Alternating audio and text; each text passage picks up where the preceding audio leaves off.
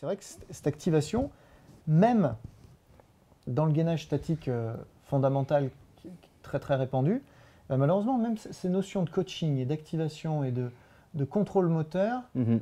on ne les a pas beaucoup. C'est-à-dire qu'on met les gens en planche et on se dit que l'exercice va se Ouais. suffire à lui-même. Mhm. C'est un petit peu fou quand même. Ouais, je vois exactement ce dont tu parles. Et ça, euh, ça, ça aussi, ça va de pair avec les peut-être les, les manques de, de connaissances euh, et de savoir-faire de certains coachs ou de certains pratiquants euh, qui, pour qui penser gainage, c'est penser euh, simplement posture isométrique.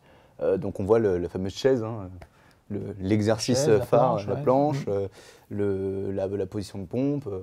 alors que finalement, on va, on va aussi voir que le, le- le gainage pourrait tout simplement être debout, statique, assis sur une chaise, peut être mieux gainé que, que debout, etc. Enfin, c'est, Ouais, ouais. Ça va être des éléments qui vont être intéressants, dans, je pense, dans la partie euh, apprentissage d'un athlète, apprentissage d'un sportif. C'est comme apprendre, apprendre à, à avoir une amplitude complète sur un squat, euh, c'est super. Apprendre à avoir une amplitude complète sur un squat et en étant gainé, voilà, Mm. c'est, le process euh, supérieur et tout naturel de tout sportif. C'est d'autant plus pertinent ce que tu dis que, euh, pour moi, le- le- la planche active en plus, Mhm. Que j'aime bien m'appeler active parce Ouais. que euh, c'est pas juste la planche passive où on Mhm. s'installe et où l'exercice se suffit à lui-même. Je, je reviens sur cette, euh, sur cette phrase-là parce que je- je- je- peu d'exercices se suffisent à eux-mêmes. Mhm. Ils n'ont de sens qu'à partir de l'activation neuromusculaire qu'on Ouais. y met. Et euh, effectivement, une, une planche, euh, une planche lambda, c'est beaucoup plus technique que ce qu'on imagine. Hmm, C'est ouais. D'ailleurs. On peut se faire très mal. C'est d'ailleurs en fait euh, les exercices les plus simples qui peuvent euh, paraître les plus lambda, qui sont souvent les mieux réfléchis, les mieux pensés, les mieux construits et qui euh, demandent une meilleure technicité en fait.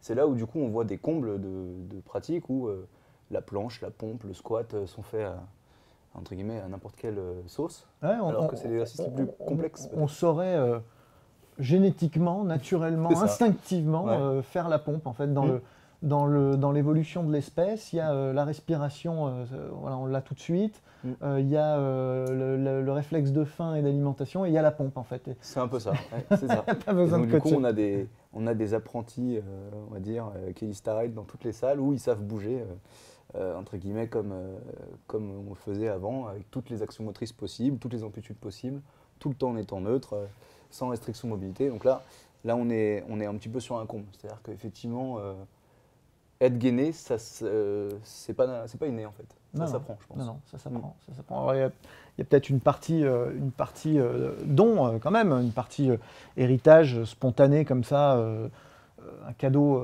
un cadeau Mm. moteur où il y a des gens qui sont plus gainés Effectivement. que d'autres, ok, peut-être, Ouais. sans, sans doute même.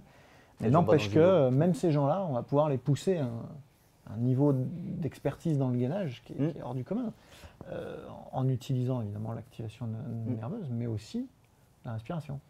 Effectivement.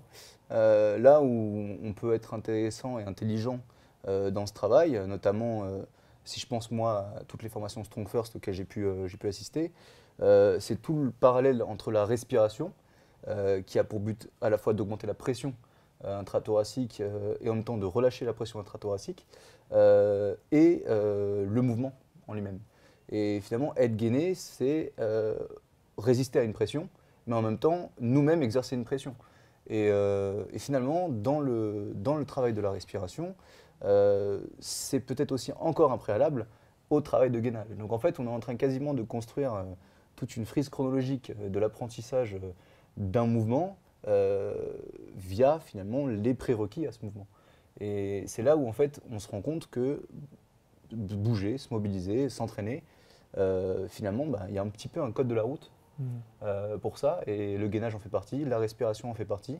Euh, savoir inspirer, bloquer sa respiration, on penser par exemple à la méthode de Vassalva, mais il y en a plein d'autres. hein, mais euh, en Strong First, on, on parle aussi de, de, de respiration active ou de double respiration, la double inspiration sur le swing. Euh, mais tout ça, ce sont un peu des prérequis, euh, finalement, un peu comme passe son permis de conduire, faut pas passer son permis de bouger. Quoi. Mhm, mhm. Enfin, en tout cas, euh, c'est pas donné à tout le monde, comme tu disais, c'est pas, c'est pas inné, quoi.